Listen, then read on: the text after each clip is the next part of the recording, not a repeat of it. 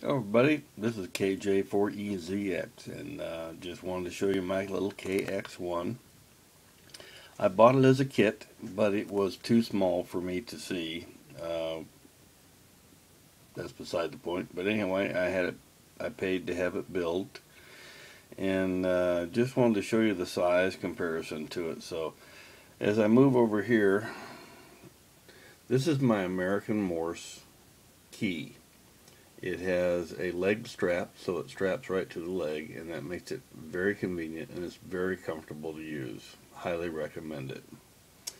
With that, I come back over to my external battery pack. 4.5 amp, 12 volt DC,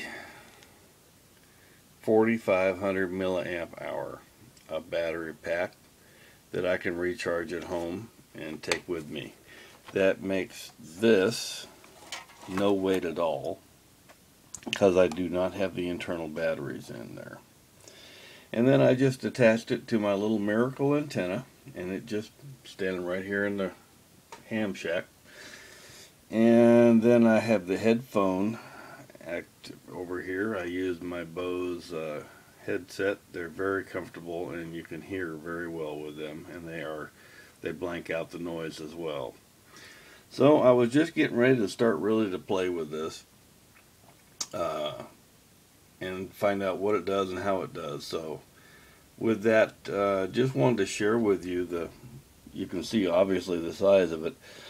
It does have a keyer, but to use the keyer, you would have to hold the unit to do to use the keyer as well. So I opted to take the keyer off and go with the American Morse key. And as you can see it is small. Well compare it to the unit there it's not very big. It doesn't weigh anything but it's very solid construction and again it does strap right to your knee and very comfortable. The settings on it are very easy to do and uh, they stay because they have springs on the little thumb screws here so they stay pretty much where where you want them to be once you get it set. And that's been a um, easy thing to do.